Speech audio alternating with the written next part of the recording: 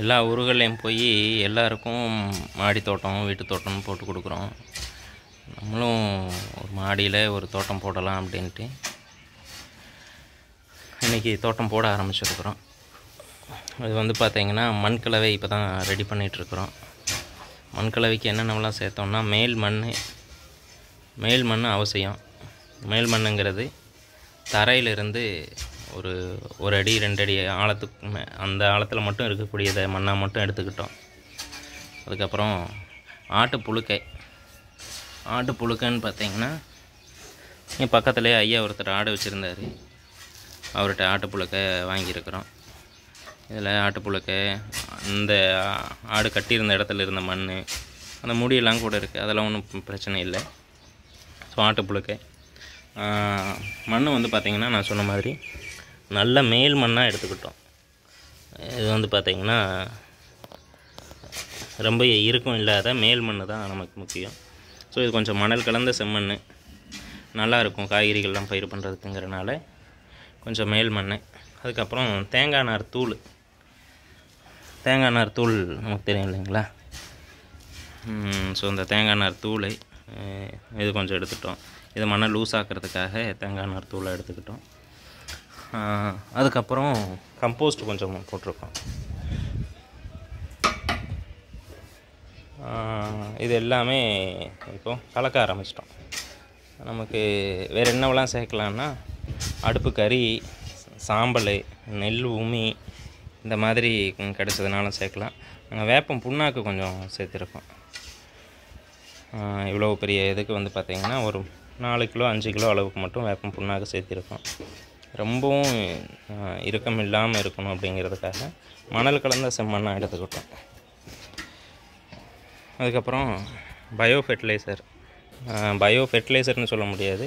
உயிரி உரங்கள்னு சொல்கிறத வந்து அசோஸ்பெரிலம் பாஸ்போ பாக்டீரியா அந்த மாதிரி இருக்கிறத வந்து இங்கே தோட்டக்கலை துறையில் மானியத்தில் கொடுத்துருந்தாங்க. ஸோ அதுவும் நம்ம கொஞ்சம் பயன்படுத்தணும். அப்போது இவ்வளவு தான் நம்ம ரொம்ப அளவான மண்கலவைகள் தான் நம்ம சேர்த்திக்கிட்டோம். வேறு என்னவெல்லாம் நம்ம நார்மலாக சேர்ப்போம்னா மண்புழு உரம் கிடச்சதுன்னா அதை சேர்த்திக்கலாம். அதுக்கப்புறம் நல்லா மக்கி போன கரும்பு சக்கத்தூள் இருந்துச்சுனாலும் நம்ம சேர்த்திக்கலாம். இது இதெல்லாம் நமக்கு கிடைக்கல. ஓரளவுக்கு மண் ஏறு இந்த தேங்காய் நார் தூள் ஆட்டுப்புழுக்கை இதுகளை மட்டுமே வச்சு இப்போதைக்கு பண்ணுவோம் அப்படின்ட்டு. நமக்கு கொஞ்சம் எல்லாமே பக்கத்துலேயே கிடச்சிது அப்படிங்கிறனால இதுகளை மட்டுமே வச்சு பண்ண ஆரம்பிச்சிட்டோம். ஸோ அடுத்தடுத்து இது எப்படி வளர்க்கலாம் எப்படிலாம் பராமரிச்சுக்கலாம் அப்படிங்கிறத பற்றியும் அடுத்தடுத்த பதிவுகளில் நான் போடுறேங்க. ஏன்னா நம்ம அடுத்தடுத்த பயிற்சிகளும் கூட இந்த மாதிரி நம்ம வீட்டிலேயே கொடுத்துக்கலாம். நம்ம இருக்கிற இடத்துல இருந்தே நம்ம கொடுத்துக்கலாம். ஏன்னா இங்கேருந்து சென்னை போகிறோம் பெங்களூர் போகிறோம் கோயம்புத்தூர் போகிறோம். மற்ற ஊர்களுக்கு போய் போ போய் தோட்டம் அமைக்கிறோம் அதுகளுக்கு பயிற்சி கொடுக்குறோம். நம்ம வீட்டிலேயே ஒரு மாடி தோட்டம் அல்லது வீட்டு தோட்டம் இருக்குதுன்னா. அந்த இடத்துல அவங்களுக்கு பயிற்சி கொடுக்கறது இன்னும் சிறப்பாக இருக்கும். நம்ம ரெகுலராக பராமரிச்சுக்கிட்டு இருக்கும்போது இன்னும் நிறைய விஷயங்களை அவங்களுக்கு கொடுக்க முடியும். ஏன்னா விவசாய நிலங்களில் அஞ்சு ஏக்கரை பத்து ஏக்கரை வச்சு நம்ம தோட்ட பயிற்சிகள் கொடுக்கறது அப்படிங்கிறது அந்த அனுபவத்தை வச்சு கொடுக்கறது வேறு. அதே சமயம் நம்ம சொந்த அனுபவம் அப்படிங்கிறது நமக்கு இன்னும் கொஞ்சம் நிறைய அனுபவங்களை மக்களுக்கு சொல்கிறதுக்காக உதவியாக இருக்கும் அப்படிங்கிறதுக்காகவும். நிறைய விதைகள் சேகரிக்கிறோம். சின்ன சின்ன விதைகள் சேகரிக்கிறோம்.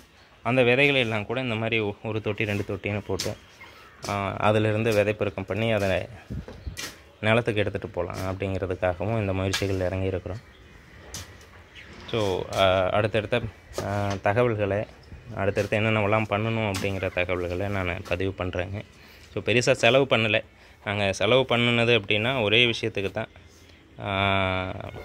இந்த ஆட்டுப்புழுக்கை கிட் மட்டும்தான். ஆட்டுப்புழுக்கை பக்கத்தில் ஐயா ஒருத்தர் கொடுத்தாரு. அவர்கிட்ட மட்டும் ஒரு ஆறு ஏழு சாக்கு ஆட்டுப்புழுக்கை காசு கொடுத்து வாங்கியிருக்கிறோம். மற்றபடி எங்களுக்கு ஓரளவுக்கு எல்லாமே செலவில்லாமையும் செலவு இல்லாமையும் குறைந்த செலவுலையும் கிடச்சிருக்கு. நம்ம சொல்லிக் கொடுக்குற விஷயம் அதுதான். பெருசாக செலவு இல்லாமல் தோட்டம் அமைச்சுக்கோங்க அப்படிங்கிறது. எங்களுக்கு அதுக்கான வாய்ப்புகள் கிடைச்சது. ஸோ மற்றவங்களுக்கும் இதுக்கான வாய்ப்புகள் கிடைக்குமா அப்படிங்கிறது தெரியாது. ஆனால் முடிஞ்ச வரைக்கும் செலவு இல்லாமல் தோட்டம் அமைச்சுக்கிறதுக்கு பார்ப்போம்.